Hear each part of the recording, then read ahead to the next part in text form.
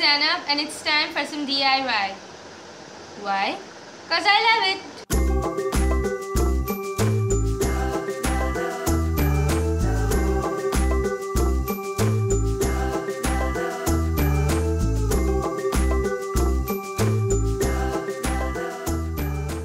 Shaka everyone and welcome to the coolest DIY show on the tube. thank you guys. A big, big thank you for everyone who's writing in. I love reading your comments, all the suggestions, all the feedback, all the appreciation, and all the requests too. I'll definitely try and fulfill all your requests and try and make everything that you have asked me to do. A lot of you asked me to give you some cool room decor ideas and tips, so I have a perfect one. I tried this for myself and it turned out pretty cool. So I'm gonna share it with you guys.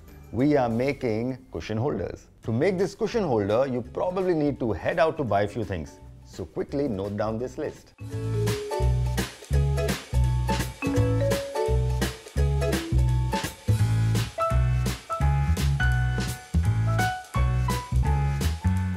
Alright, let's get started.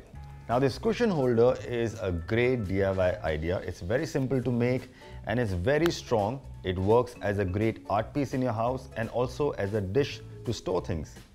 Yes, it's that cool. And it's very simple. So let's get started. So I'm wearing gloves. This will protect my hands because the material that we're using is cement which can dry your hands. Now we grab our material which is cement. Now there's no fixed proportion. So all you need to do is keep adding a little bit of water and mixing it so that you get a nice paste which is not very dilute and not very thick. It should be like porridge. So we keep adding little bit of water, mixing it and continuing the same process. The amount of cement will depend on the size of your bag. We are going to use a Ziploc bag to make our holder. Mix it well so that there are no lumps. Okay, as you can see, I have this nice thick consistency. Almost looks like chocolate pudding. Okay, once you're done with this step, get this plastic Ziploc bag in. And now we'll start putting this paste inside this bag. Okay, I think I'm done. As you can see, I have not filled the bag completely. I have left some gap on the top. That's because once you seal it, you can press it and fill the rest. If it's too full, then the bag won't lock properly. So I'll start sealing it from one corner and I'll leave one corner slightly open. Then I'll try and lay it flat and get the air out. Make sure you do it carefully, otherwise all the cement will ooze out. I'm gently pressing so all the air and the air bubbles escape and once you are happy, then you can just seal it. Okay, our cement bag is ready. Now this will become a cushion, but now to make this into a holder or a dish, we need an object. I'm using this candle here and press it right in the middle so that you get a depression. Now because there is air and the cement also has some volume, it doesn't press down completely. For that, what you can do is you can take a heavy book and place it on the top like this. Take some cups or glasses to balance it. So like this, you can balance some books on top to add weight. And because of this weight, it will create a depression in the cement cushion that we are making here. Now all you have to do is leave it to dry for about 8 to 10 hours. So after about 10 hours, it will look like this. You can see it has dried up and because of our candle, it has formed a nice depression. Now what you need to do is you need to open the bag and then carefully cut it to reveal your cushion holder.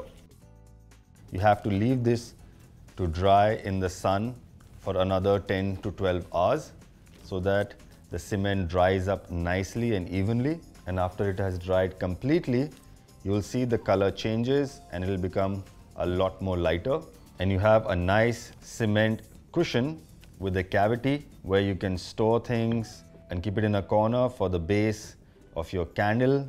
Now you can see there are a couple of holes here which are formed because of the air bubbles and it's really difficult to try and get all the air out or all the air bubbles out. So don't worry because I think it looks nice. It adds to the whole look of this uh, cushion. So I think it's pretty perfect and really simple to do.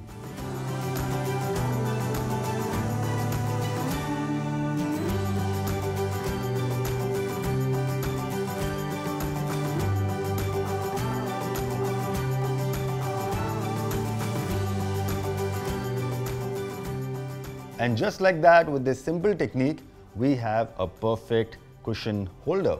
I love this DIY because we are taking a material which is so hard and making something so soft like a cushion. Guys, if you enjoy watching my videos, then do like them, share them, and also subscribe to my channel. It's free. And this is so simple, so I think you should try it out. And once you do that, click pictures and share them with me on my Instagram or Facebook. I would love to see what you're doing with it, whether you're using this as an art piece or you're storing knickknacks. I hope this DIY helps you. If you need more ideas, write in, connect, and also remember, you guys can be part of my videos. So send me some of the intro links. The details are in the description below. I'll see you next time. Until then, do good and be good. Peace.